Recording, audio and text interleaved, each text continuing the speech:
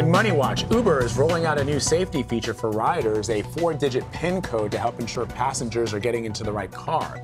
The move follows the death of 21 year old Samantha Josephson, who was killed last year after getting into a car with a man impersonating an Uber driver. Riders can choose whether or not to use the new PIN code feature.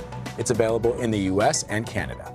Social media app TikTok is expanding its content guidelines. The Chinese owned company says it will remove misinformation that could cause harm to its community or the public.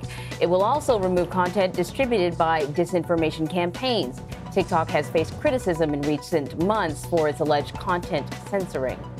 Researchers say the cost for delivering babies in the U.S. has increased over time. In 2008, the average out of pocket cost was about $3,000.